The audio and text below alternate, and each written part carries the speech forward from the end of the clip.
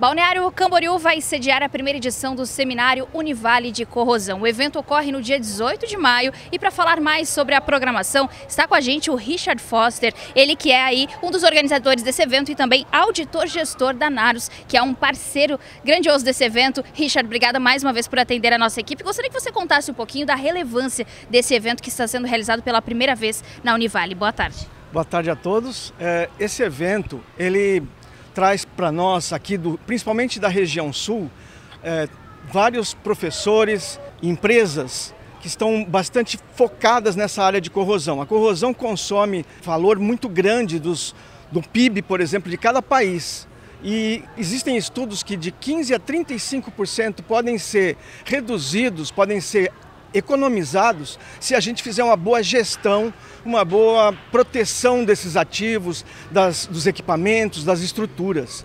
Então esse evento ele vai dar oportunidade de da gente congregar estudantes, é, profissionais, empresas que estão ligadas a essa indústria é muito afetada pela, pelos problemas de corrosão.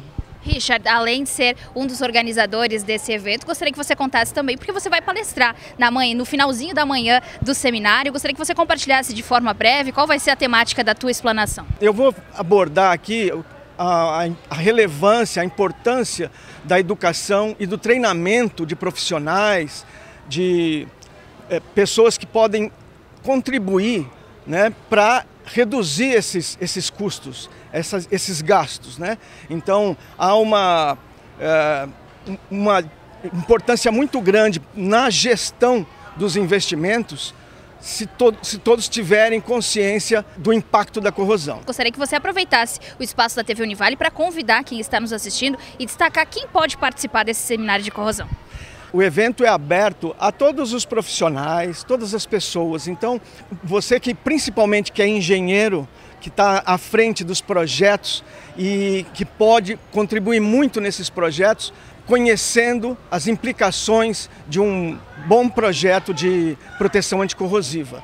Então vai ser um evento imperdível na minha opinião, né? E aqui para o Sul é o primeiro evento, então nós vemos que vai ser de grande relevância a sua participação.